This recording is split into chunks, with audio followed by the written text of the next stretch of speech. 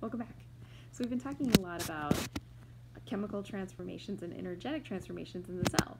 So we're going to talk also about some of these really great machines that work in the cell. They're amazing. They're called enzymes. So let's take a look. All right, so let's think about something delicious. Whatever it is, it's a slice of cold stone ice cream cake. It's a gyro. It's whatever it is. Um, think about your favorite food, for example.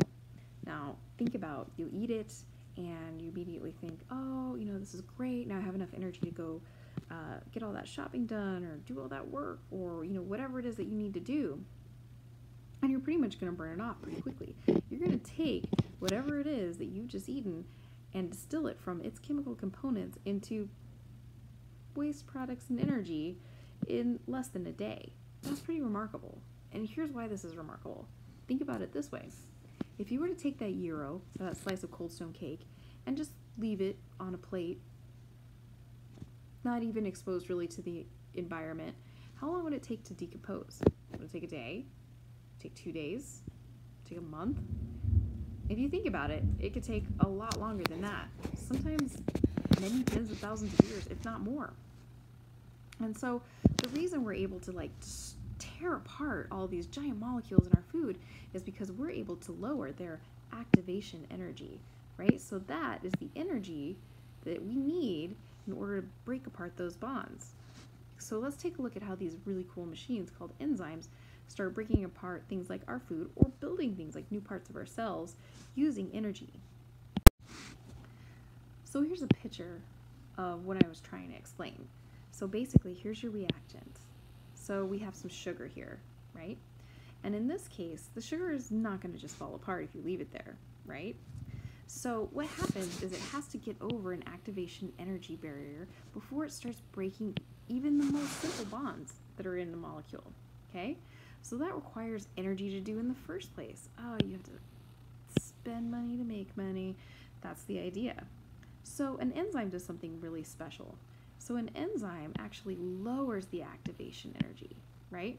So it takes less overall energy now to start breaking apart these bonds and taking that energy out. And since it works for the cell, it's going to give it to the cell for work. So again, here's the big picture. We have an activation energy barrier, right? So bonds usually don't just break down over time unless it's a lot of little geologic universe explaining time. So we're going to require some help to get over that in order to break even a single bond. That's where enzymes come in.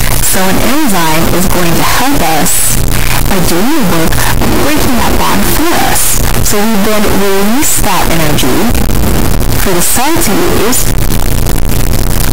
and now we've also degraded the product so we can further break them down and hopefully we can get a little more energy out of them as well. So that's pretty great stuff, right? So we have a lot of enzymes and we have a lot of different enzymes. You don't just have one or two, you have thousands upon thousands of different enzymes in your cells that are doing all kinds of different functions. So things like um, breaking down sugars or breaking down fats, lipids, or building new cell components that you might need, okay? So what happens is we talk about them this way. So an enzyme is a biological catalyst, and a catalyst is something that that speeds up a reaction or assists the reaction. But what's important about it is it does it without being consumed by the reaction, right? So it's still there to use later after the reaction has been completed, right? So that's how it catalyzes it. It does important things like the enzymes lower the activation energy needed in order to yay anyway so activation energy needed to break apart those bonds in the first place. So they fight against having to wait for geologic time to take care of opening up those bonds right? So we can just tear apart molecules or even put molecules back together or build new molecules in a really like really quickly. Um, so the other thing here what are they made out of? So typically they're going to be made out of proteins most of the time, like the lion's share. But originally, some of the first enzymes and enzymes we still use now are RNA-based enzymes. So that's pretty cool as well. So some details about enzymes, well, they're specific for the most part. Not all of them are entirely as specific as others, but some are very, very specific. And what that means is they're picky. They only want to work on one type of molecule for the most part. And so when we talk about an enzyme being selective or being specific, what we're thinking about is this other idea, what the enzyme likes to transform or work on. That's called the substrate. So remember, we have some anatomy to go over, okay? So the enzyme's active site, right here, think of it as being the enzyme's mouth, okay? That's where the substrate, right, your substrate is going to go. And so it's picky. It doesn't want to have things that are the wrong shape. It's only going to take things that are the right shape. Okay? So that's how we know it's being specific, right? Hence the term for that particular substrate. All right, yeah. So you guys are great, and I really appreciate how you suffer through my drawings, but we're going to use some from the textbook now, all right? So here's the Pearson list. Here's our enzyme, right? So there's some parts of the enzyme. For example, this is the active site right here where it's being kind of honey gold highlighted, okay? The enzyme itself is the purple part. So this is the enzyme itself. This one's called sucrase. And so anytime you see uh, ase in the name, you know you're dealing with an enzyme. Okay, so just kind of keep your eyes peeled for that.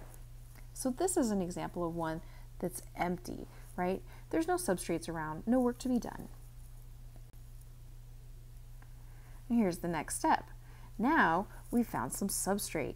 And in this case, since we were dealing with sucrase, we found some sucrose.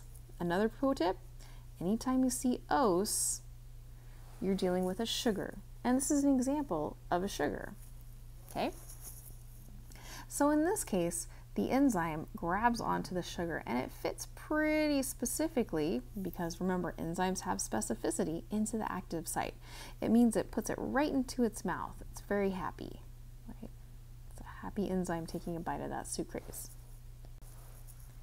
Now we're going to add water. Remember we talked about hydrolysis or hydrolysis,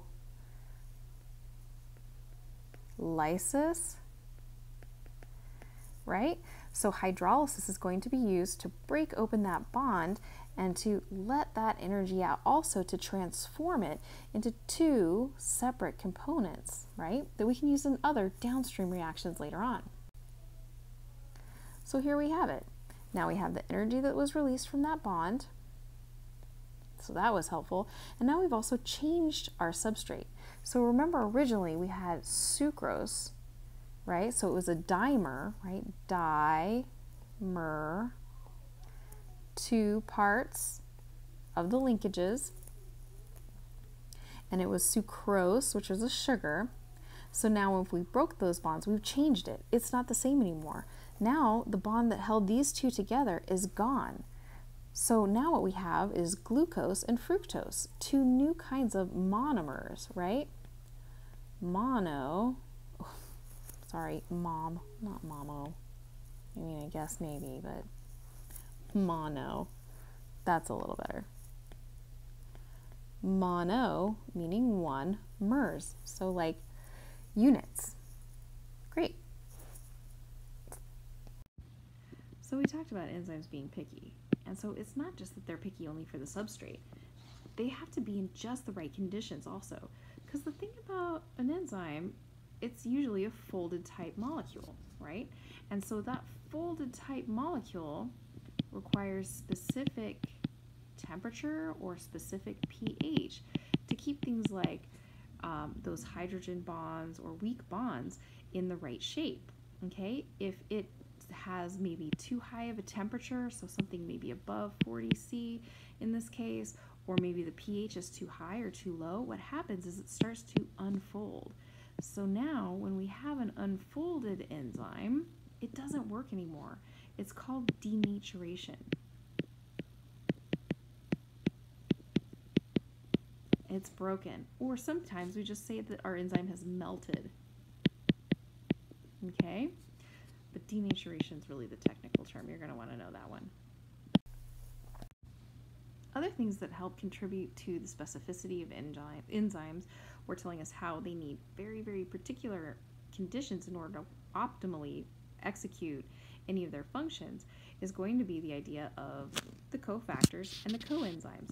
So cofactors are small for the most part. They're like ions, they're pretty tiny. And coenzymes, they're usually a little bit bigger. And they're organic molecules. So an organic molecule is a molecule that has a CH bond, okay? And so these are larger usually, and these are smaller. So the function of things like cofactors and coenzymes is to make sure that we're happening we execute or catalyze these reactions in the right amount uh, i'm sorry in uh, the right abundance right?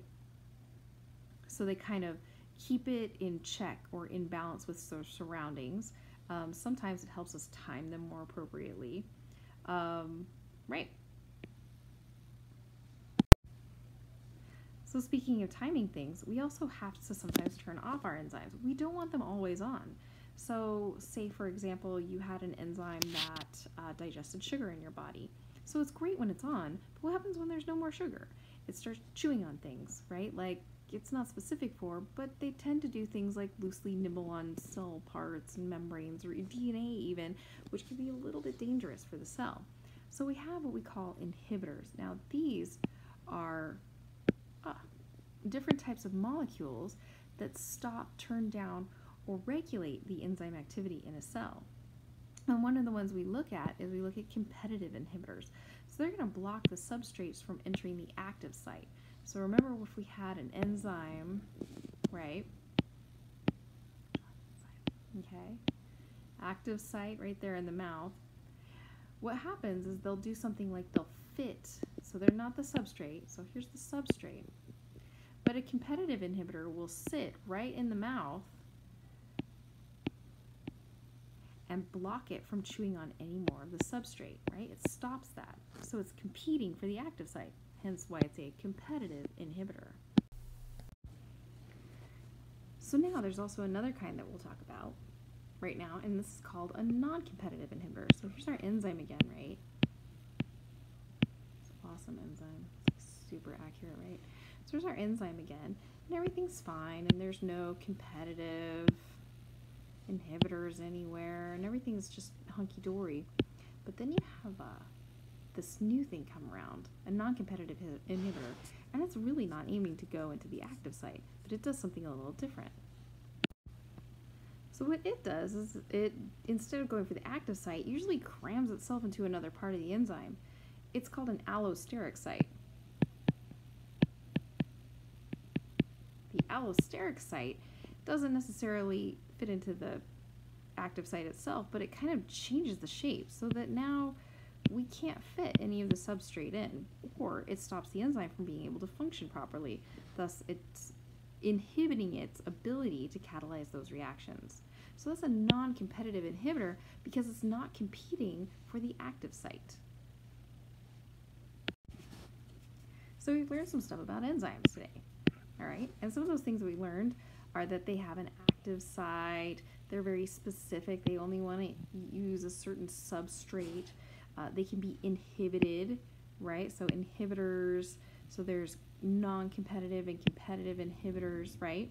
We also learned a little bit about stability of these enzymes, so things like uh, denaturation, right, in the process of melting. We also learned about how enzymes help us achieve uh, faster reactions by helping us overcome our activation energy and a whole bunch of other things. So I hope that was useful. All right, well, have a nice night.